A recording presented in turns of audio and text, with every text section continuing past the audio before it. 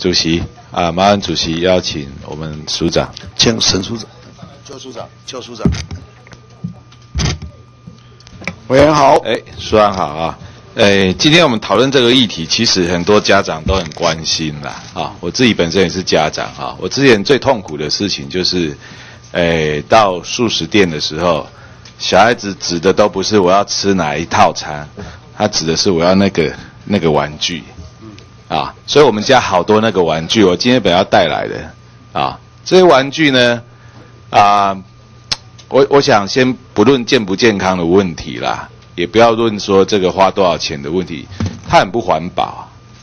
通常啊，小孩子拿回去啊，玩一天就腻了，啊，所以你家里啊，很多我相信很多家长家里一定堆积如山，啊，你要把它丢掉，又觉得可惜，那留起来也不知道怎么处理，啊，那小孩子老实讲也不太可能再去把它拿出来玩，而且这些玩具都做得很粗糙。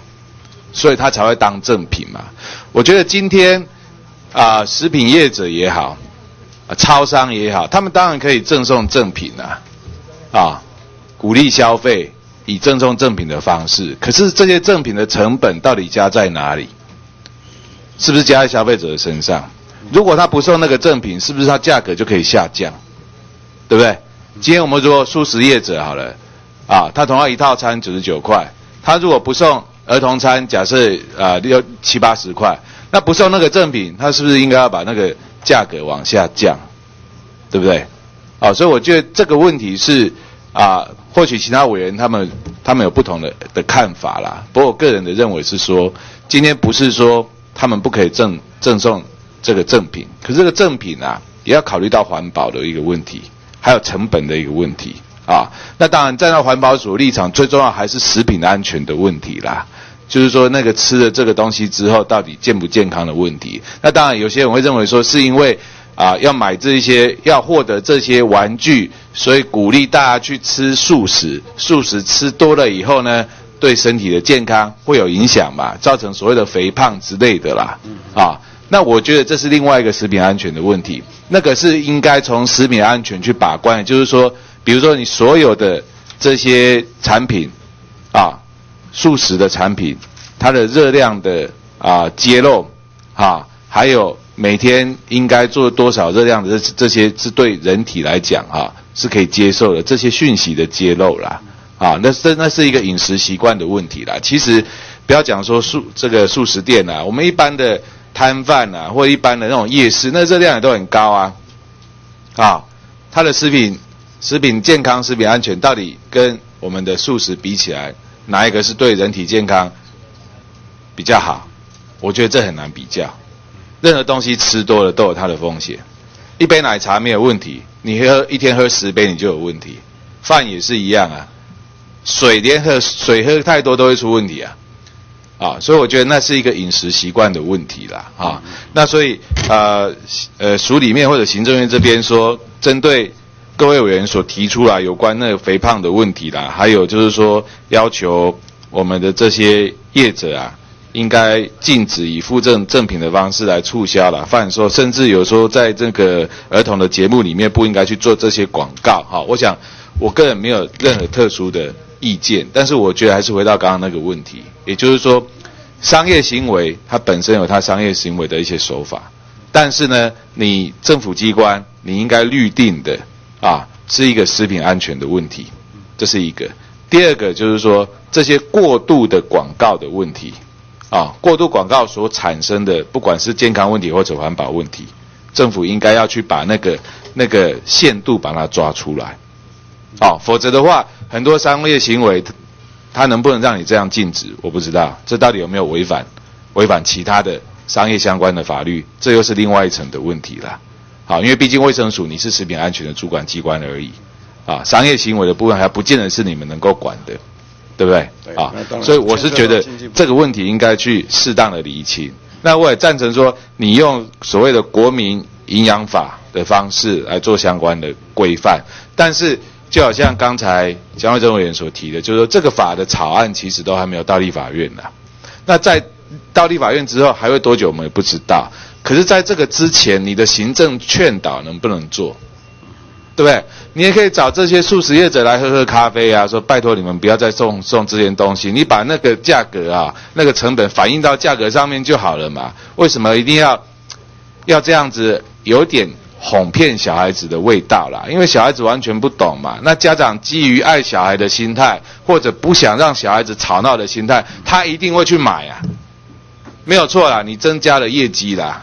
可是，在家长的的这个心里面，实际上是很不舒服的啊，啊，会很不舒服啊。所以以前我会再三考虑要不要进进到那个素食店呢，啊，每次经过都快步经过啊，啊，不敢进去啊，啊，倒不是说不想花那个钱，而是说我们觉得这样子的方式，我如果要买玩具，我就宁可到玩具店去买嘛，专门卖儿童玩具的嘛，因为这些玩具还有一个安全的问题，环保的问题。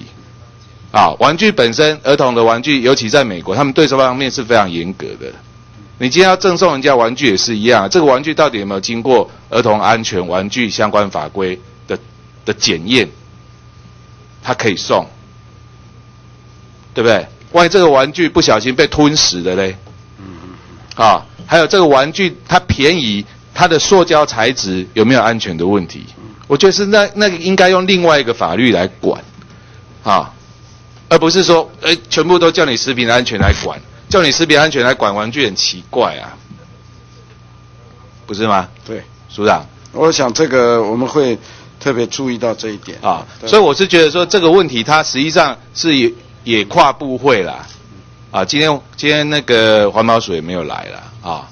那我是觉得说，你们应该先做行政劝导了。第一个最好就是不要用这种手法来促销了。第二个呢，它相关的这些玩具，它应该符合呃安全玩具的标准的。第三个呢，最好是呢能够环保回收再利用的。都有。啊，我我觉得这些原则应该你们要要去劝导这些业者，其实也不光只是素食业者而已啦。啊，很多的包括我们的超商，现在也都是用几点啊，每次去买东西，他给你一个点数，很麻烦啊，一要就直接送就好了。啊。然后集到多少点以后，然后送给你一个东西。这个东西不管是什么公仔啦，或者是什么，很多人在收集没有错。可是这一些到底啊环不环保啊？